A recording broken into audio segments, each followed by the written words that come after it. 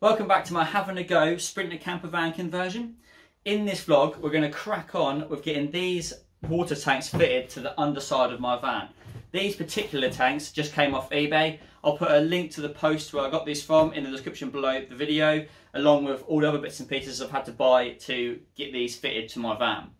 Now this is a the freshwater tank. It's 70 litres, and this is the wastewater tank, which is 50 litres. It's more than ample for what I need to do in my van. Um, the freshwater tank, for some reason, is the only one that came with the uh, the inspection catch, so, hatch. So I've bought another one for the wastewater tank, which I'm going to get fitted in a second. The kit was pretty good. It actually came with all the fitting kit, the brackets. These weren't painted when it arrived, which is a bit of a pain in the ass. Not sure why they why they do that. So I've actually primed and painted these black myself. It came with all the, the sort of hanging hooks, the filler cap, the pipe work, and the Jubilee clips, drain valve. So it's quite a decent kit. I think it's pretty good. The extras that I had to buy was obviously the cap, the um, the inlet. As you can see on here, if you can see it, the inlet for the waste is like a I don't know, 15 mil or something. So I've bought an inch and a half tank connector. So I'm going to cut that out and plug that in there because all my waste, my bath and my sink is all inch and a half. So that's why I'm going to put that in there because I can just see that getting blocked up. So that's one job I've got to do as well as cut that in there. Um, the other thing that I bought, again off eBay, a separate posting, is a, um, a level gauge kit. So that came with a little LED level gauge, which looks decent, and it came with sensors, and it's just plug and play cable setup.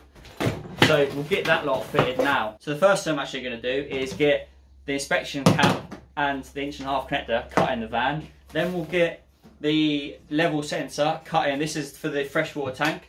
Get that cut in here.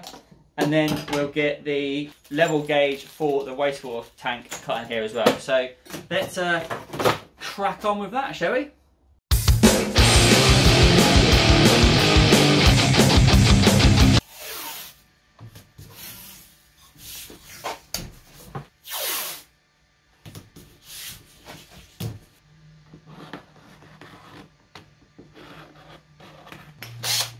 Don't have a hole saw big enough for this. So I'm going to drill a pilot hole and cut it out with a fine tooth sort of metal bit in my jigsaw.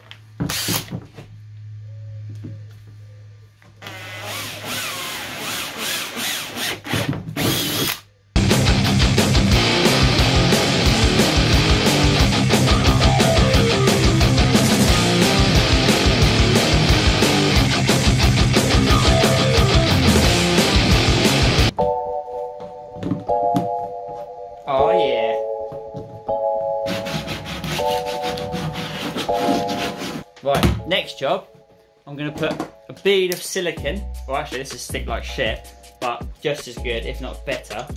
And I'm gonna run a bead around the top of this, and then stick it down, and then get some stainless steel self-drilling screws, and then fix it down, and that'll hold it. This is the top of the tank, so it won't be holding water all the time. It'll just be, if so, if I ever wanna drop the tank out, I can undo this and just give it a pressure wash.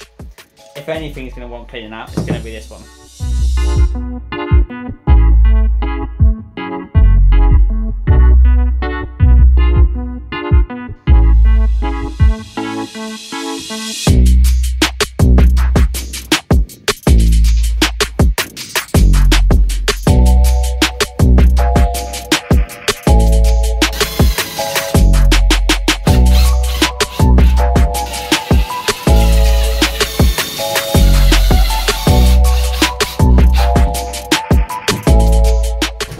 Job is to put this inch and a half tank connector in there, which will be a whole load better. So let's uh, cut this one off first.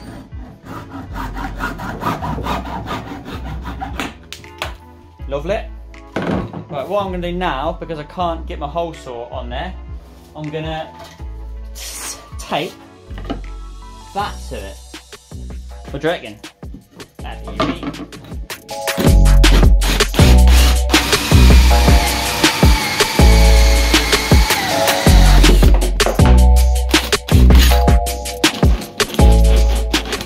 Here's our tank connector. On the inside, the threaded side, it's got a rubber seal, which is fine. So we'll put that on the inside, but on the outside, there's no seal. So I'm gonna run a bead of this again around this lip. Then we'll plonk it on and then put the, the rubber washer and the nut on the inside. And then that will bottom that out nicely. Lovely. Nice bead of silicone adhesive. Beauty. Oh, lovely. Stick the nut on on the inside. Right, there she goes. She is tight. Beauty. So that concludes that part of the install. Next job is to get this uh, level, it's not a level gauge, it's actually like a full transmitter. So all it does is when this tank is full, there's the freshwater tank and the waste tank. So when the waste tank is full, it just brings on this red LED. So it's not like a level gauge like the water, like the, the freshwater side. So it's very simple. All you have to do is drill these rubber bungs in and basically put your bolt through it. And as you tighten it up, it compresses that rubber seal and then it makes, makes a seal in the tank. Now how this actually works is really simple. So you've got these little spade terminals that just go on the nut and then all you're actually all, all that's happening here is when it's full the water effectively creates a resistance or shorts out the two bolts. That then sends a signal back to your little control panel and brings the LED on. It's as simple as that. So let's get this drilled in and then we'll go from there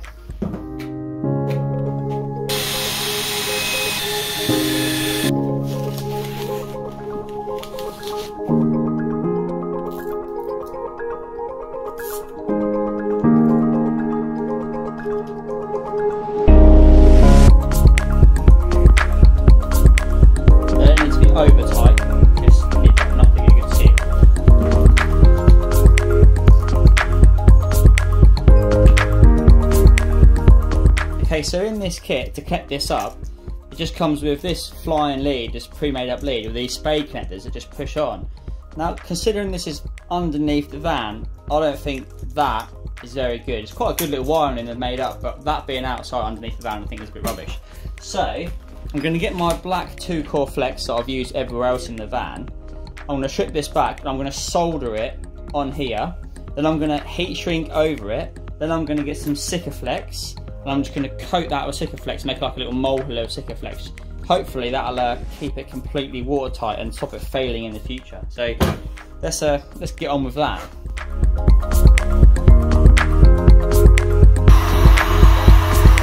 So that is a level gauge fitted.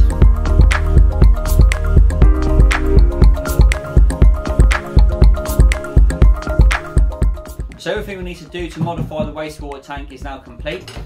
Uh, I've just covered those two terminals in some Sikaflex and white Sikaflex as you can see, so that just gives it some extra protection from mud, water and whatever else from underneath the van, so it should be pretty much submersible now.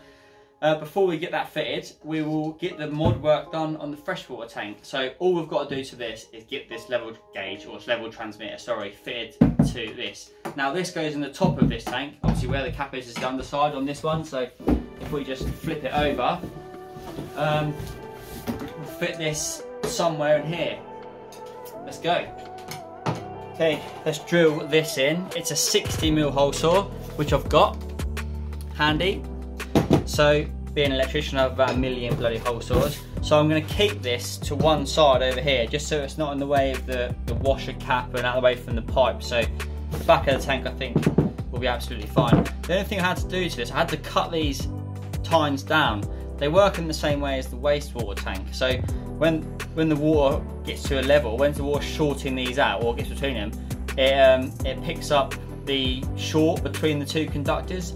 So at different levels, that's how the level gauge works. If you look, if that makes any sense. So for example, you've got your light, so you know it's full. The green light will be those two shorting out, and then the two orange, it'll short out between those two, and one will be a common, and then the red will be the short out between these two. So that's how you know your different levels, if that makes any sense to anybody. I am terrible at explaining stuff. So let's get this drilled in to the tank.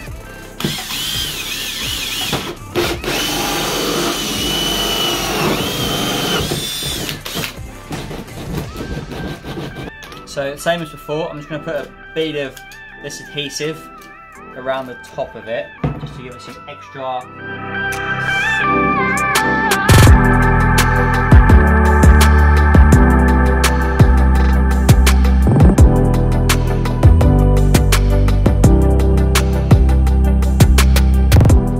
and it's just got this seal and nut to go on the underside. So again, on this lead, this is just a made up lead, it has this plug which just plugs in. So again, this being underneath the van, I think that is crap. So I'm gonna strip these plugs off, I'm gonna solder and heat shrink every core, and then I'll heat shrink the whole lot just because under the van it might as well be a permanent connection and then it's completely watertight. So that is a lot better. Doing that is a lot better than bloody those crappy plugs.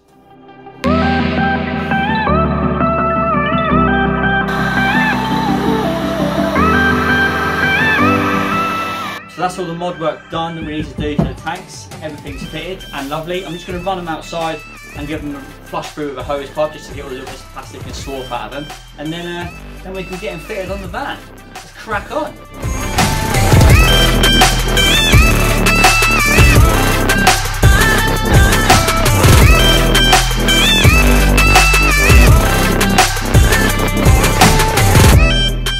Right, under the van we are. Oh, it's lovely under here. So this tank, the waste tank, literally hangs in here. So we are just behind the driver's seat.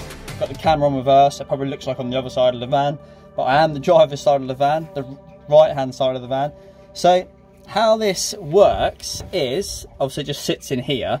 Now these, these are like hooks, as you can see, like so. They just hook into the hole there and then the bracket literally one hand. There we go. Hangs like that. And then the tank hangs in here. So that's as simple as that. Um, the only issue I've got is this side there's no holes. So I don't want to hang it through these. I don't want it pulling. I'd rather it be like this on that side hanging like that. So I'm going to drill another hole in here. And same again at the back here over here. And so I'll drill a hole I'll file it and then I'll coat it in load of under seal just to this has all been Waxoyl so it's quite good. And then uh, we'll get this tank fitted. So I'll just run a time lapse get it fitted and then uh, we'll smash it out and get the freshwater tank done. Go.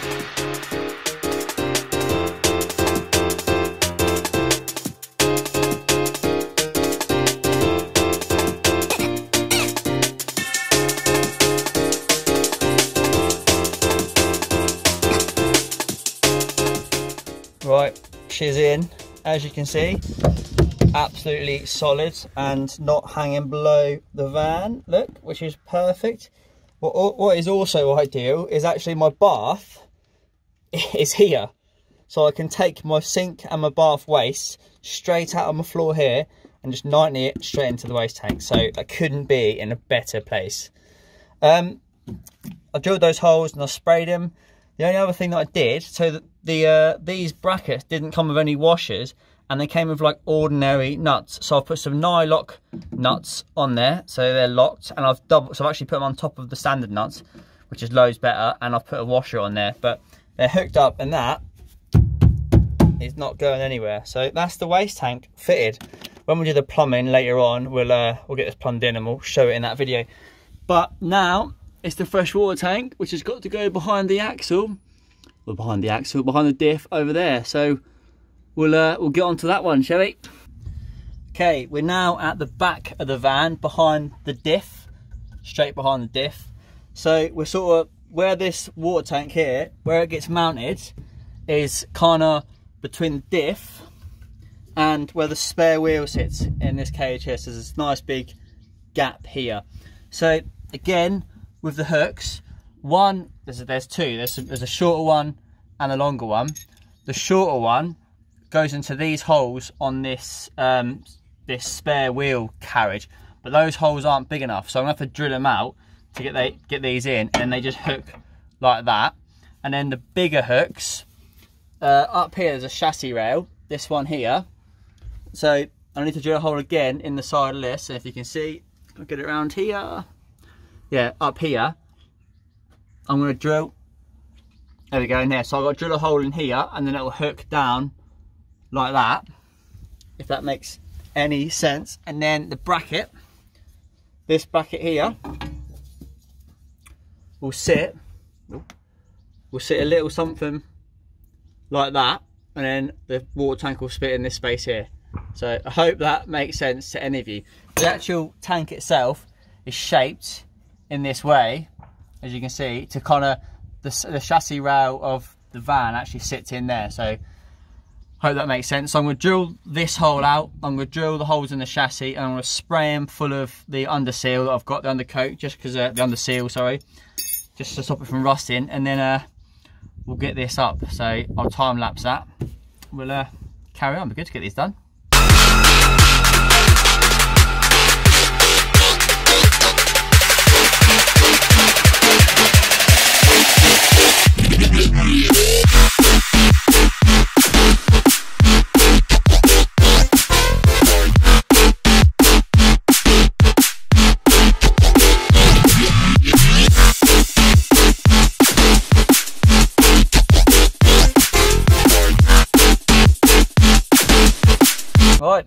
Fitted. I should have tidied this cable up a bit more, but I've done the same as the other one. Just put a lock nut on here as well as a normal nut and a washer.